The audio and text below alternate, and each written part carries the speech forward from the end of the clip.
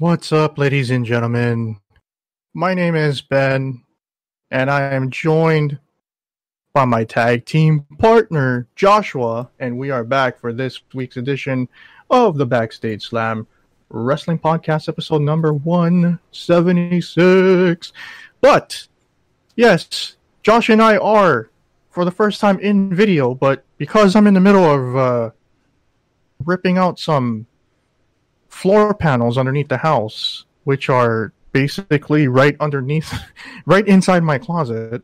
I had to pull everything out of my closet, and all my stuff is strewn on my bed, and I'm sleeping in the living room tonight so that we can continue to fix the floor panels. So I can't show you. Josh and I are looking at each other, but Yeah, there you are. I we will not be showing the video of my messy room in the background. Uh, so no, we're on video, but no video, uh, no webcam this week.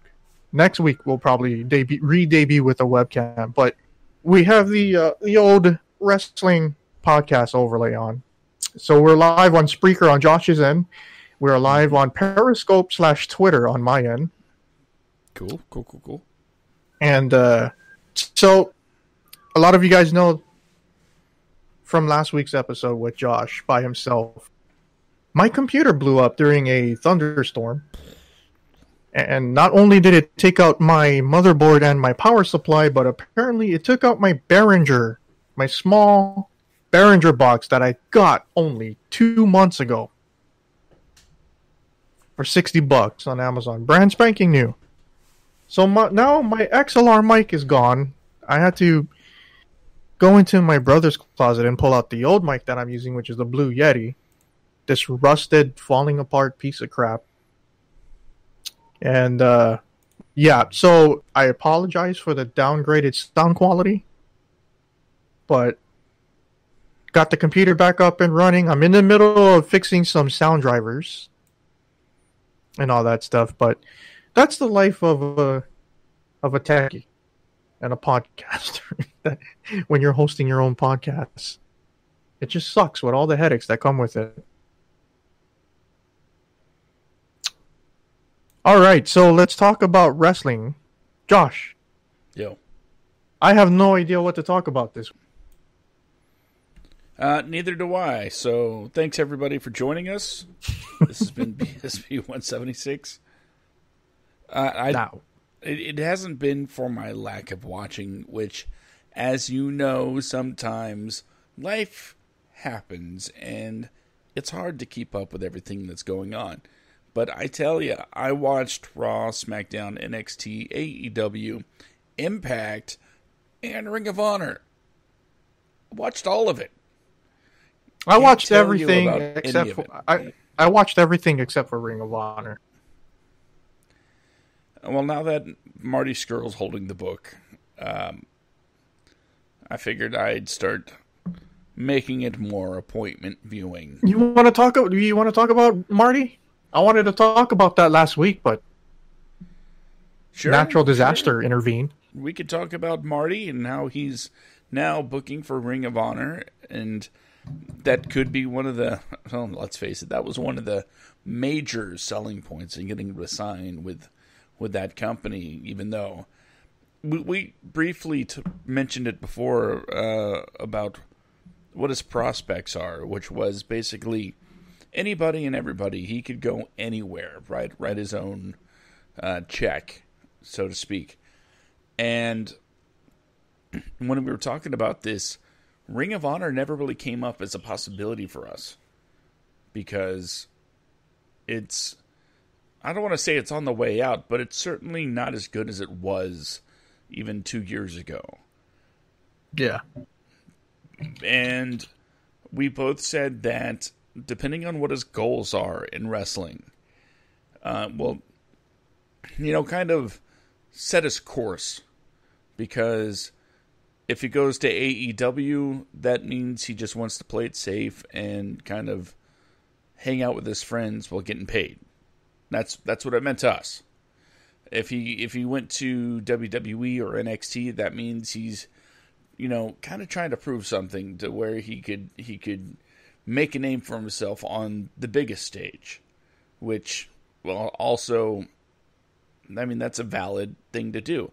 Um, Impact even got brought up as a possibility because, in our opinions, we said it would be him uh, wondering if he could pick up that promotion if he, you know he could throw it on his back and get it back in, into relevance. And let's face it, Impact has its supporters, but it's at best now the number three promotion in the country.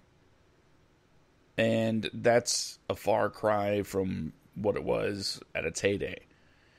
Okay, do we know the logistics of his? Uh, I, I haven't looked it up yet because obviously I haven't had a computer for for almost ten days. But um, do we know the logistics of of, or should I say the details of Marty Scurll's um uh contract? What it entails? Like, I know it's seven figures. Was there like a final number? And I know that he, it's a minimum sixteen week work rate out of the entire year, which is probably the biggest reason why he re-signed with ROH. Uh, is there anything else about his contract details? If you give me just a second, I can check. All right. I'm going to take this time to plug uh, our Twitter. You can follow me at YoBroMMO on Twitter. We're currently streaming on Twitter and on Periscope, and you can follow Joshua at Skit Comic. Uh, you guys can also uh, subscribe to us on Patreon at patreon.com forward slash YoBroMMO for only $1 a month. We're just asking for only $1 a month, but there are 5 10 and $20 tiers as well. We, ha- we do have six Patreons.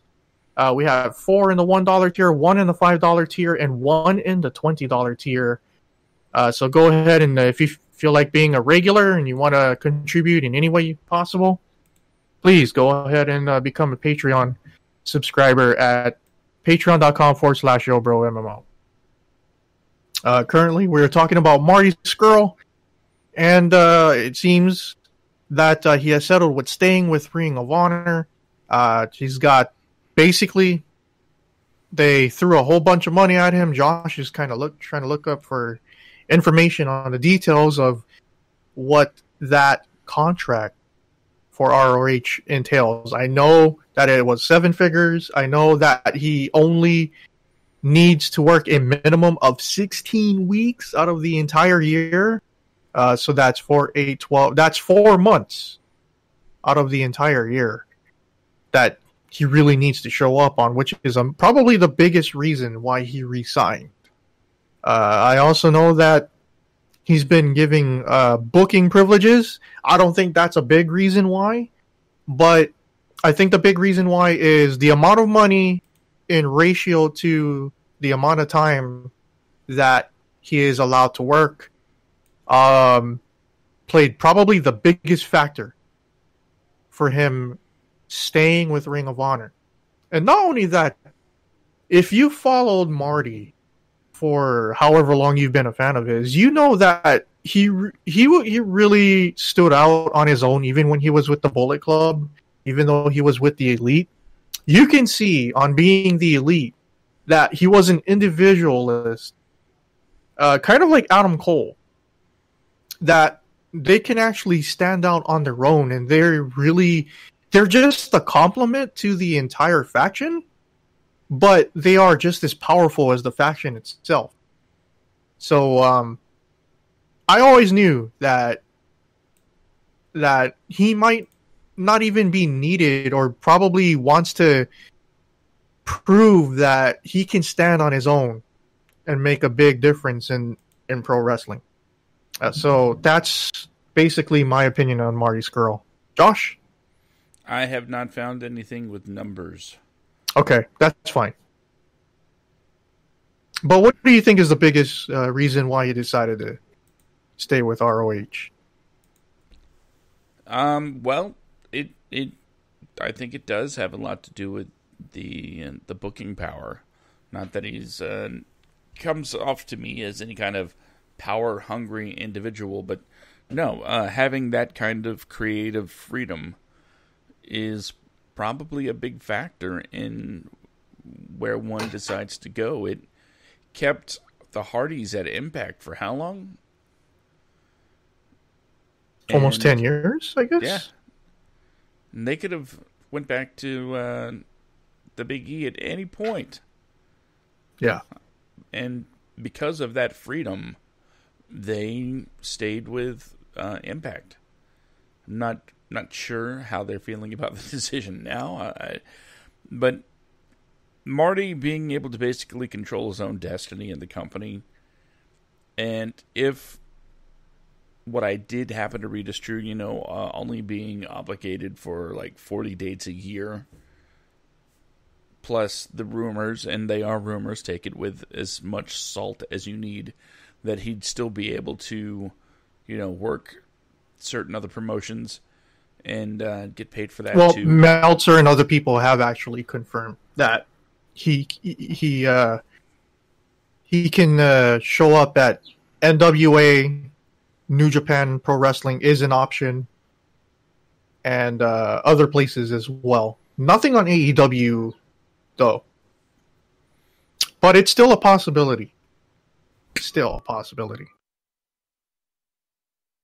Considering that AEW still allow 80% of their talent to basically uh, either continue to doing uh, pre-booked dates for those smaller promotions or to even lend themselves to another promotion such as uh, AAA or New Japan.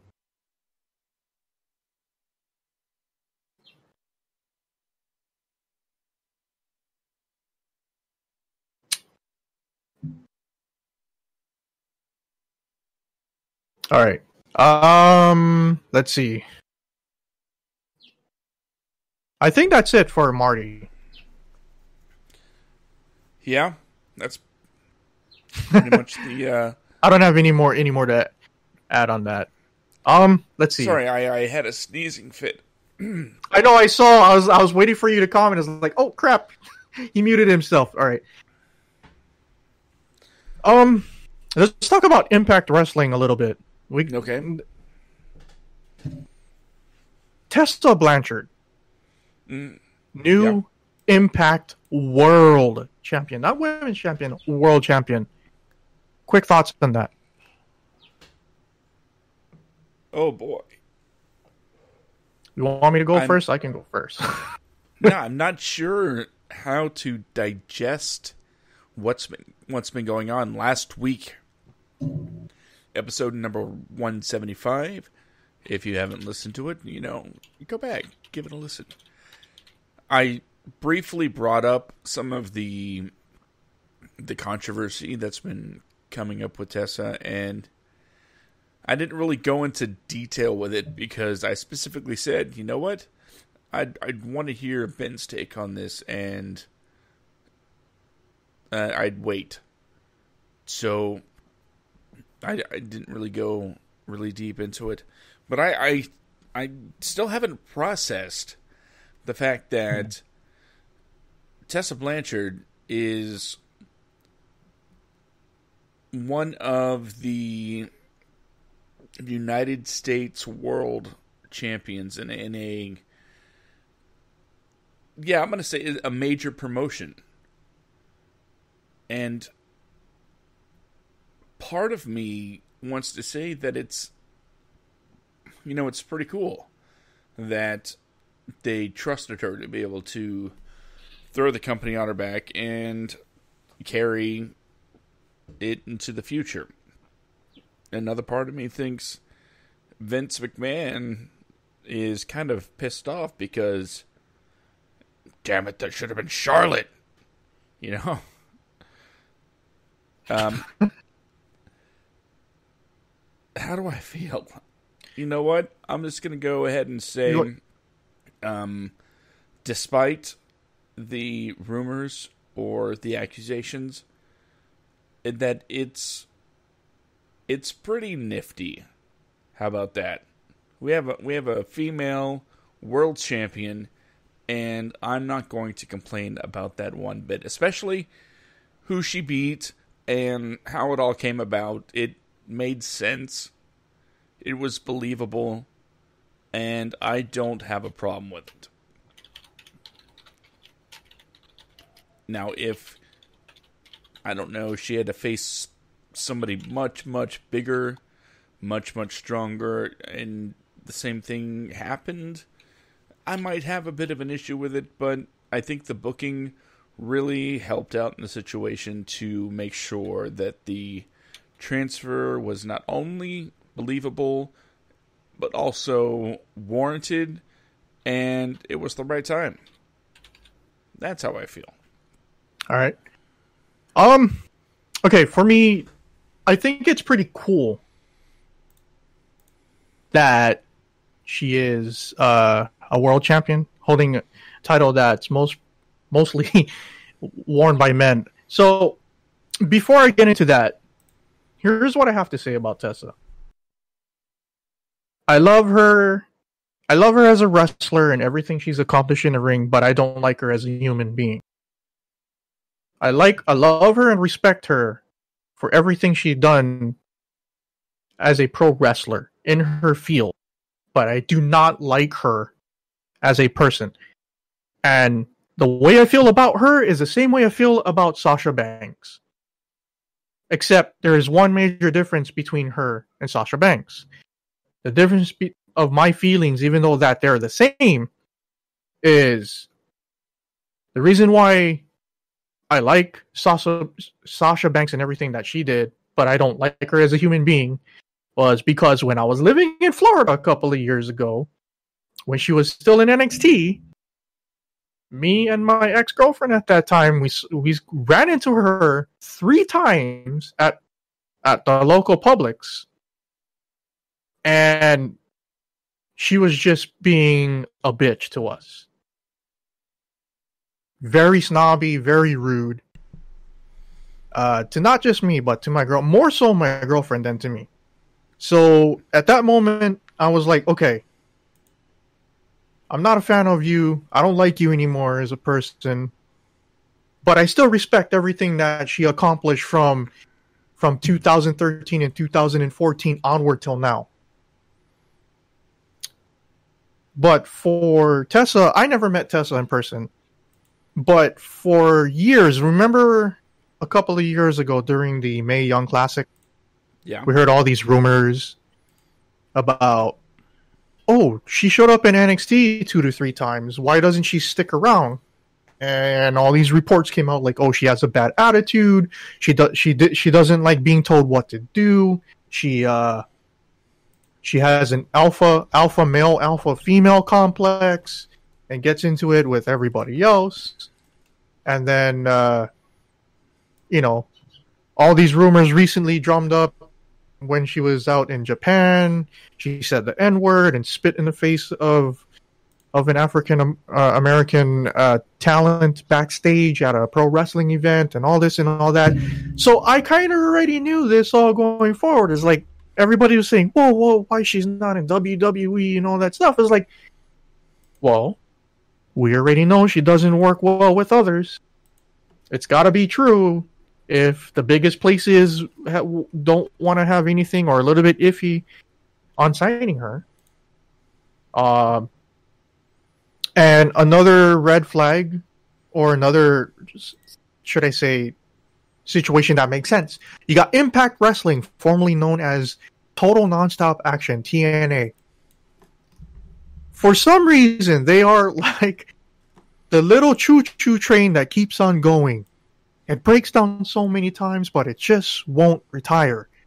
It it's it seems like Impact Wrestling, no matter what iteration it was, it has always been filled with problems and issues and everything that comes between them being uh just a indie promotion that just got a TV deal to something that can shoot all the way up to the top and actually steal some uh, viewers from WWE, but Impact is basically a brand that just keeps falling on bad luck, basically. And to have like Tessa and you not be not just the only talent being on that brand that ha- that's very controversial. If you take a look at that roster, there's a lot of people that are controversial that are currently in there. Just another example, M- Michael Elgin, hmm making it big name for himself. There's a lot of good people there. There's a lot of good people working there, but there's something there's something there. Like it's like everybody that gets shunned from another promotion for saying something stupid, doing something stupid, or some negative connotation, they end up finding their way at Impact and actually making an impact. Mhm. Um, so, in that sense, it makes sense. But overall, I'm happy for her. But I don't think. Here's my issue. My issue has nothing to do with the controversy surrounding her. My issue is her. Her. Uh, she had the. She had the opportunity to fix something when she made a public statement, both on social media and after her match. Very unapo- uh, unapologetic, and it, and if it was meant to be an apology, it sounded very condescending. See, for me, like it sounded me like Hulk Hogan. It sounded like a half-hearted apology. You know, like I don't like Hulk Hogan as a person, but I like and respect everything that he's done as a pro wrestler. He's still one of my favorite pro wrestlers, despite everything. But if that something like that ever happened to me, like if I, personally speaking, if I have ever uh, said something racist, or pre- or done something, or you know, or acted like extreme prejudicism, what I would do is I would personally reach out to that person, uh, either in person or on social media, start a dialogue, and actually try to work things out with that individual, and also put it out there. Be- why? Because optically, it would it, it looks better. Because even if that individual doesn't forgive you in the end, at least you stand a 50% chance at, of getting that person's respect back and or 50% having that person legitimately forgive you. You know what i mean? And it and it doesn't and that goes a long way. Like especially in social media that feeds into everything whether it's entertainment sports whatever. It's it's what drives people in this whole cancel culture thing. It's all optical. People see things people read things. And that's overtaking from people hearing things. You know what i mean? So i think if uh, she reached out to everybody that she supposedly wronged in person or whatever uh, and the people that actually witness all that stuff, I bet you at least half the people would have forgiven her and her image and everything uh, would be in a lot better standing than it is now. And she would actually gain some respect back. I think you're. excuse me. I think you're absolutely right about that. Because if I'm not mistaken, the response was, "Nuh-uh." Essentially, Yeah. and I mean, I'm no expert, but I don't think that was the right path to take. Especially, especially after you know being given the honor of uh, being Impact World Champion. That's the first look you're you're giving people as the the top person in the company. There are, I mean, think of it this way: How would John Cena have handled the situation? Because, quite frankly, and I, I he has his haters. We we haven't really been on that bandwagon. I've always given the guy a ton of respect. even if I got tired of watching him after a while, it's you got to respect the work that he puts in. Mm-hmm. But he is the guy to set the bar, to set the example on how to handle public matters. I mean, look at everything he's been through. He's been hated by the fans, called out to his face uh, numerous times. He had to go through a very blackmailed by a couple of exes. Blackmailed by a couple of exes. He went through a very public breakup with another, you know, well, I don't want to say famous. Is is is Nikki really famous? I mean, really? Mm, probably on the same line as what? As the Jen, uh, the Jenner girls, Kardashians, excuse me. No, I wouldn't even put her that high. No offense to her, but I mean, people Every, know who, who the Kardashians are walking down the street. uh, yeah, she would turn head. She's hot, but you know what I'm saying. Mm. John Cena still had to go through a very public breakup after a very public engagement. Mm-hmm. And the guy handles himself with nothing but class and professionalism almost at all times. So Tessa could have really taken a page out of this guy's book and even without issuing an apology, you know, I'm not going to say she should because I don't I wasn't there. I don't know if she did it or not, but apparently there are a lot of people that say she did. Irrelevant to me. I would have put a video statement. I would have said, "Hey, uh, get the production team. Let's get this video on YouTube, social media, everywhere on the site." I would say, I would say everything that I am uh, supposedly responsible for. Blah blah blah blah. Own up to it, and individually uh, uh, put the names of everybody that she had altercations with, um, and say, "Look, I'm sorry. I'm not asking for forgiveness. I'm asking for an opportunity to talk to you in person, whether it's through texts or a phone call or to actually meet in person." Because that's what I would have done. And honestly, I think that's what a lot of pro sports people would do. Now Hogan did that, but uh, it didn't come off as genuine. You know, it didn't really come off as genuine. Oh, so it, it, might not his his apology that he made after saying racial racially charged yeah. comments while banging yeah. his best friend's wife on camera might might might have been disingenuous a little bit. Hmm because there was a whole lot of wrong with what happened there. Right, brother. it was not not good. But if I if I was Tessa, not that I am, but if if I were, I would have issued one of those apologies, you know, in quotations, where it's more like, look, I'm I'm sorry that if if I hurt anybody's feelings or uh, did anything that offended anybody in the past. Uh, but I can't regret the things I did because it got to me to where I am. And yeah, we got a is... we got a couple of Twitter questions that okay. I didn't notice until now. Apparently, this was sent ten minutes ago by 808 Sports Fan.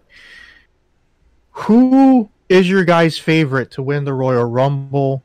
And the next question they asked is who is going to win? Who is your guys' picks to win the Women's Royal Rumble? Good questions. Okay, so basically our Rumble picks for both matches. Yeah. Uh, I I think the women's match only has like four people announced so far. Mm-hmm. So that's a little bit trickier. And the men's match, by the way, the Raw team, are well, not team, but the Raw brand already has like eleven or twelve entrants. That is weird because I was expecting each of the three brands to have 10. I was thinking nine and leaving like three up in the air for whatever. Yeah. So yeah, Raw's already taken their number and then some. It's like NXT is going to have less than five for the men. So they can put Sergeant Slaughter back in there? Yeah. I changed my pick, by the way, if you remember a couple of weeks ago. Who it Really? was. You want me to give you my update? Because you were you've been saying Roman for a year now. Yeah, yeah, yeah, I have. Who's your who's your So, uh, I'm still picking Roman, but I'm going to say this. If Keith Lee is in the men's Royal Rumble match, Keith Lee will be facing Brock Lesnar at, at, at WrestleMania. Oh man, that is quite the bold prediction. Dude, would would you like to see that match? I think that match is gold. Yeah, yeah, it would be a great match. If to see. Keith, I'm saying this now, I'm picking Roman Reigns, but if Keith Lee is in the Royal Rumble match, I'm going with Keith Lee. Um, and for the women, if Shayna Baszler is in the women's Royal, I'm gonna go with Shayna Baszler. Uh, if she's not, um, originally I was going with Asuka, but I changed my mind to Sasha Banks. I think uh, Sasha Banks is going to win the women's Royal, and she's going to, um, they're going to have like a little angle with her and Bayley, and I think they're going to make, uh, I don't know, man. I think we're going to get babyface Bayley back for WrestleMania. I think we're going to get Bayley versus Sasha for the SmackDown Women's Championship. a little played out, but interesting choice. Yeah. I mean, they have to. I mean, they got nothing going on with that title. Yeah, I think we're going to see. Lacey Evans is getting there, but I think uh, she, I think, I think she needs the tag team championship, the women's tag championship, to put her up there in the next step. That's fair. That's fair. So I think she, I think she's done a wonderful job since they turned her baby face. let's see. You have Sasha and Keith Lee, Yeah. who, by the way, I pretty sure he will be in the Rumble. Um, and he will face off against Brock Lesnar in the Rumble. I think. So you'll get that moment. I'm not sure. Maybe he'll be the one that that eliminates Brock. Mm-hmm. Yep. and that that could set up a, a program, but I don't think it would mean he's winning. It seems like the winner of the Rumble is going to be taking on. I don't know.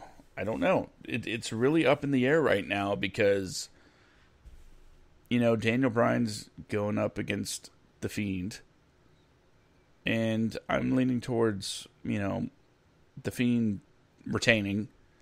Daniel Bryan still chasing and chasing until Mania, hopefully. But if Well, the reason why I said the reason why I said uh, Roman is that I the only one that can legitimately beat the monster the fiend is somebody that that beat cancer.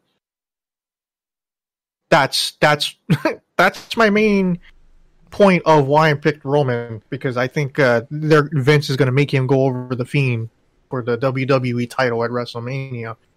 But if Keith Lee is in this match, I think I think they're going to make the big match between him and Brock. Oh, new question came in. It's uh Hydra four six seven.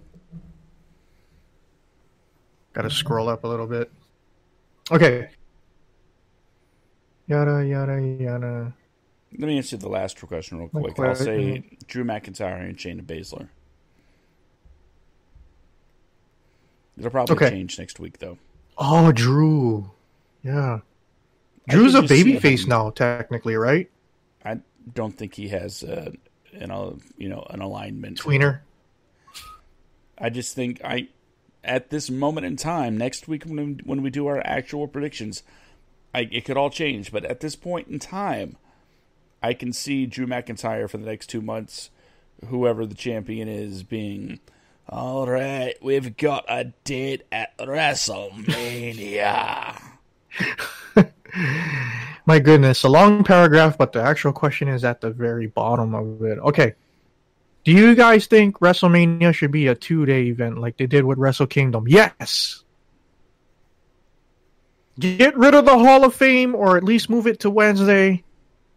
NXT TakeOver on Friday. Night one, WrestleMania Saturday. Night two, Sunday. That way, the two top championships can actually main event the card on both nights. Been saying that for two years almost. That is a good point. That is a very good point. Night one headlined by the WWE Championship, night two by the Universal Championship, or vice versa, or they alternate every. Or one of the women's championship if the storyline, uh, like this past WrestleMania, does its it. stuff. I I still think I'm still wanting that one on one Ronda Rousey versus uh, Becky Lynch match. I yeah, just don't still think wait for uh, that. Yeah. Even though it should. By the way, if. Ronda Rousey is in the Royal Rumble, I'm gonna go with Ronda. if Ronda and Shayna are both in the Royal Rumble, I'm gonna go with Ronda. Cha-ching. I, I, I could totally see Ronda coming back and winning the Rumble. After Yeah. all, like I said, only four people have been announced so far for the women's Rumble match. It's, it it wouldn't be. It Hmm. would. I mean, it would be a moment that where I, where I am sh- shocked, uh, but Hmm. it wouldn't be surprising. Yeah. Okay. Uh, getting back to the last thing I wanted to talk about on Impact. Impact Impact Wrestling's Twitch channel got banned, Josh. Yeah, I saw that. And uh yep, I see why. I mean I mean when you got two two women hunched over like that, not only did you see lip, but you saw some the sides of a butthole. A bleached, waxed butthole. Yeah. Yeah. I don't know what Impact was thinking. Especially there goes a big chunk of revenue right there for uh, their monthly subscribers that they that you know a nice chunk of change per month that they just lost. I, I I I did see a meme that was like, "Do you remember where you were when Rob Van Dam and Val Venis switched gimmicks?" Right? Because Val Venis, you know, sells legal pot, and RVD is shooting porn. Apparently, That's I- so I- weird, dude. don't know. I'm I understand that Rob Van Dam's apparently in um you know a polyamorous relationship. Um, you know, it, it's for those that don't know, it's where you're. It's an open relationship basically, except, and as a friend of mine once put it, uh, the difference between being poly and cheating is you have full open communications with your, you know, I guess primary partner while you're allowed to do what you want, essentially. Um, and and that's, from what I understand, what Rob Van Dam is doing. Which Is that for real or is that a gimmick? no, that's legit. That's his life. So, so the two girls. Yeah, they're, they're his Okay. girlfriends, and his girlfriend's girlfriend. Hmm. Okay. So yeah, I, never, I never really cared to be honest. Ever since you know he and he and his wife uh, split, he's just been. I don't know. It's like he's reinvigorated, and I don't know the story behind their their split.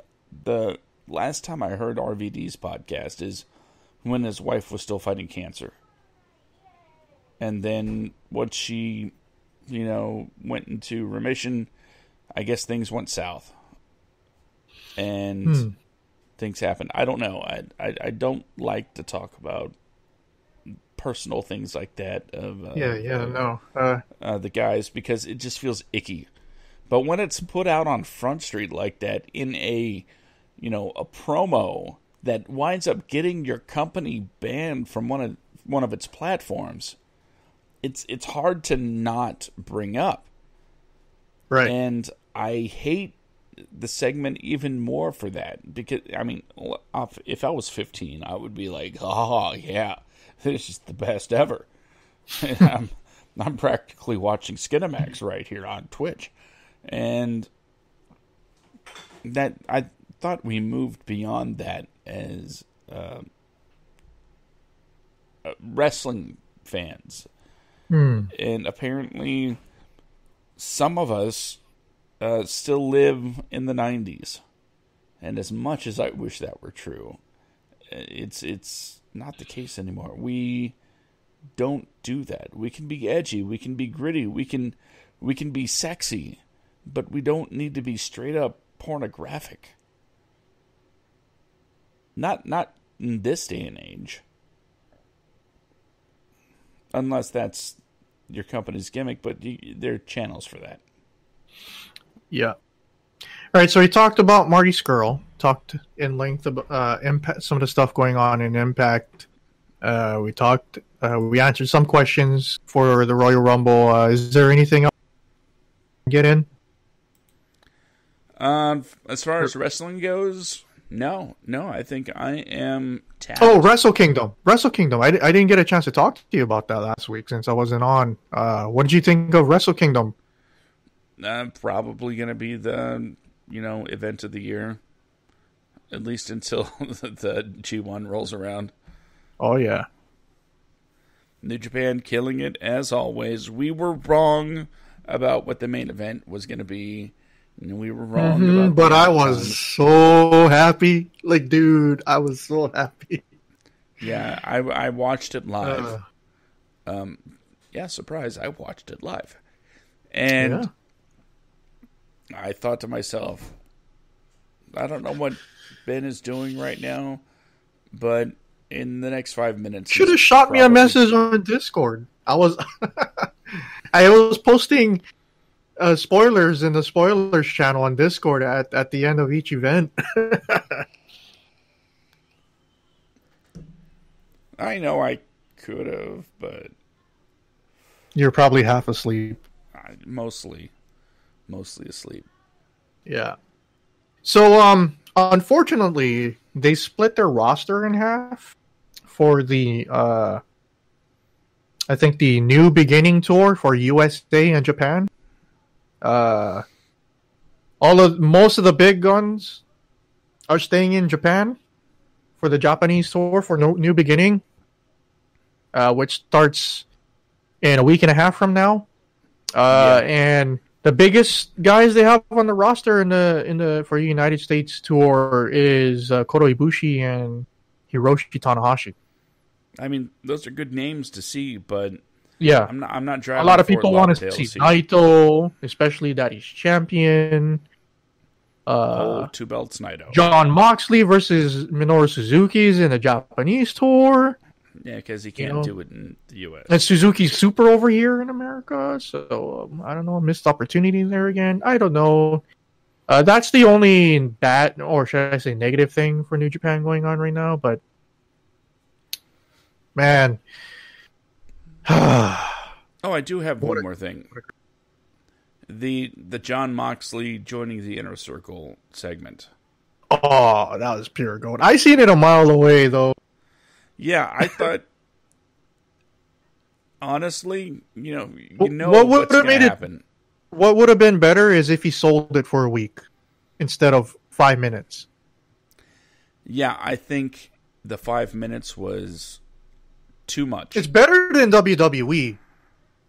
Like WWE never give it gi- gives any anything like that time. Like re- remember the festival of friendship? It just at least they, uh, it's like oh my god he really is turning. They actually got the crowd to say you sold out, you sold out, and then he he was like nope I ain't joining. I thought that was Yeah. fantastic, but it would have been super genius if they waited until next week. Next week, all all I wanted to see from him next week was Moxley going. You know, you told me I had to join you to get this car, and you didn't say how long I had to to be with you. So, you know, hits him with his finisher, grabs the keys, and's like, "Thanks for the car." Mm-hmm. That I just would have liked to to hear that line. I joined you, but you didn't say for how long. Yeah. You know, another thing interesting is that uh, this coming Wednesday is supposed to be part two or part two of Bash at the Beach, and it's actually going to be a taped. It's going to be a taped episode of uh, Dynamite on top of the Jericho Cruise. That's going to be exciting. Yeah, that's one of my favorite things about what's been going on in AEW. The fact that you can draw a clear line. Jericho's rockin' razors. and it's it's going to these interesting places, mm-hmm. like a cruise line. and and from I want them to go Mall of America like they did for the very first episode of Nitro. Stuff like that. I think that would be really cool. Just just to see where they pop up next. And sure, you're you're losing out on certain amount of ticket sales, but it would make the the demand be so high if if you limit the availability of tickets and put them in interesting places. Another thing too, since uh, the beginning of the new year, I fully expected NXT to continue getting wins over uh, AEW in the ratings because you know me, I don't care about that. Mm-hmm. But considering that uh, after Full Gear, that there was a three month wait until Revolution, and WWE is going to have four pay per view, well, three major pay per views, not counting the one we had a couple of days ago at uh, Takeover Blackpool, uh, which I haven't watched yet. I don't think I'm going to watch it, but I watched that. But um, how'd you like it? Nine out of ten. Uh, I'd say eight out of ten. Okay.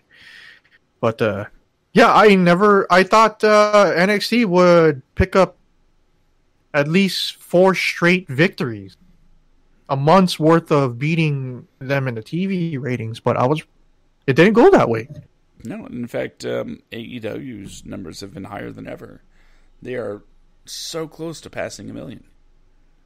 They actually, uh, they uh, Bryan Alvarez said they actually average 1.1 like they actually have over a million it's just that there's some fall off somewhere um but they said that uh that NXT's numbers is actually much lower because they estimate over 220k people jump over from Dynamite to watch the the end of NXT. So instead of the 700 range, it's actually like in a 500, 550 range. And it only ends up being in the 700, 750 area because that's all uh, people who jump ship since uh, there's over overhang of, of time between both shows, which is very interesting. Hmm. But like I said, the last two episodes. I, I don't care about the Dusty tournament. And it made me not care about the Dusty tournament because one, they always end up breaking breaking half the teams up not long after the Dusty tournament is over. Two, they end up putting two singles people into the Dusty tournament and make them win the whole thing. And three, if they had followed that uh that recipe, it would have been a super positive. It would have been a positive this time with the time splitters, but no, they reunited the time splitters only for them to lose, and that made yeah. me angry. Legitimately, like I was like, I I, I don't want to watch NXT anymore, and I just because this past week, what I've been doing, Josh, is I've been alternating every week which one, which show I would watch live, which show I would watch later on in the same day, right? And this week and and last week it was NXT. I was like so mad. I was like, nope, I'm gonna watch AEW. And then I ended up watching the immediate replay of AEW right after that because I'd missed the first hour. So, yeah. So, a- uh, NXT got three wins, and AEW, I don't know, what is this, week 14, 15? I have no idea. Yeah. For me personally, I liked only three NXT episodes. I know there's two ties, so the majority of the wins uh, with the better show for me is AEW. And with that, uh, that's that's all I got to say. Anything else, Josh? Uh, nothing about wrestling, but I do want to um, put something out there for everybody that. Well, let me start off this way. I want to give a big special thanks to my friend Kente Ferguson out there on the West Coast, who this weekend did the uh, did a 24 hour podcasting marathon Jeez. with his uh, indie radio uh, channel. And I was a guest on the fourth hour. Uh, that would be 4 a.m. to 5 a.m. Eastern. And we talked about anticipated movies of 2020. And from the Can you give me your top three?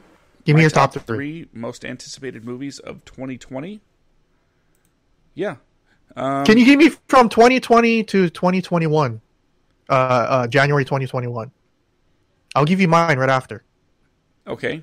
Um, I actually have the list. Hold on. Okay, can I go Lists. first? Go ahead. Okay. Um, what do you call that? Shang Chi, Marvel Shang Chi, number three. Number two, Godzilla versus Kong.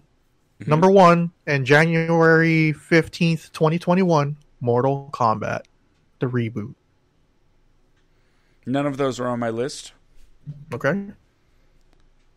I I purposely left out comic book movies and things like that because it's not that I don't anticipate them, but You're more I- of a serious movie watcher. You're more of like an Oscar type of critic. I'm more of a pop culture movie critic. hey, I love comic book movies. You know that. Right, right, right. But I just think at this point for me, I'm not It's- gonna. I'm not the type that sits through Eternal Sunshine of the Spotless Mind. Or it's a great movie, know. man. I know, I know, but I'm just saying. I'm just saying uh, why you and I wouldn't do really good for like that. You know, that top ten podcast thing that we're going about is that We come at it from we different love the same things. We're just we just like different things. and the same things. Uh, Yeah, but I I I- I I don't like I don't like serious movies. Fair, fair enough. I won't recommend Marriage Story then. like uh, uh marriage store uh, yeah like that type of movies i have a certain director or a certain taste like like judd like uh judd apatow romantic rom-coms that are serious i like those That's fair. That's fair. But my list, my top three. go ahead Okay. Like I said, I didn't add the comic book movies because at this point, for me, it's a given. Okay, they're they're gonna be there. I'm gonna see them. But for my list of most anticipated movies, I have, I guess, in no particular order. Yeah, uh, Tenet.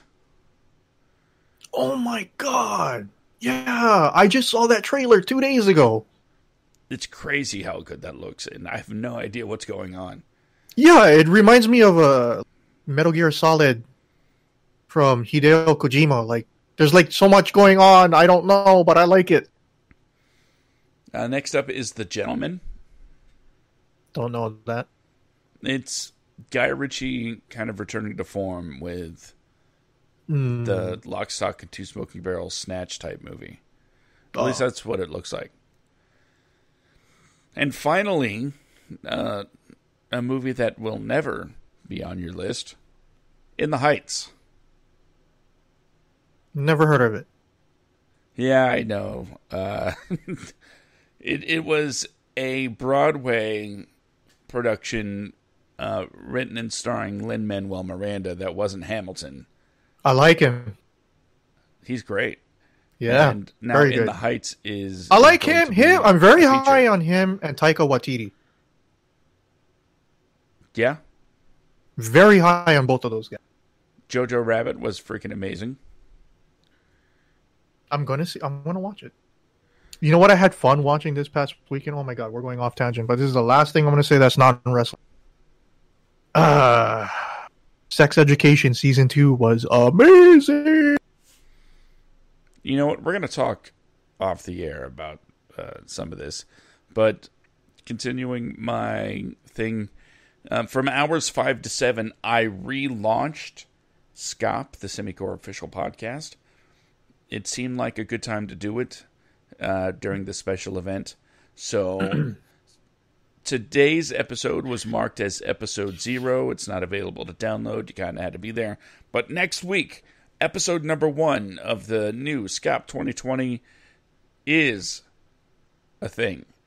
So the entertainment podcast is back and um, ready to talk about movies and TV. Ooh, So the Semi nice. podcast, SCOP 2020, is coming back, and I wanted to I wanted to throw that out there as well as give thanks to Kente for letting me be a part of his. is the Netflix being absorbed into that? no, no, it's still going to Okay. be its own thing. Okay. I was thinking about though changing the Netflix to something weekly. So instead of here's everything coming out in the month, it would be here's everything coming out this week. So it would give kind of more time to, you know, really go into what's coming out and maybe even talk about what's leaving the service. That way, you know what you have to get in before the end of the month. Okay. All right. Uh, well, we tagged in an hour exactly. My name is Ben. That's Josh. And we will see you guys next week where we'll be talking more AEW, more Road to NXT Takeover, and Royal Rumble. Josh, uh, is the Royal Rumble going to be in a big arena this year? It's going to be in a stadium, I believe. Okay, just checking. With that said, we're going to play the outro music. Too sweet, everybody. Too sweet.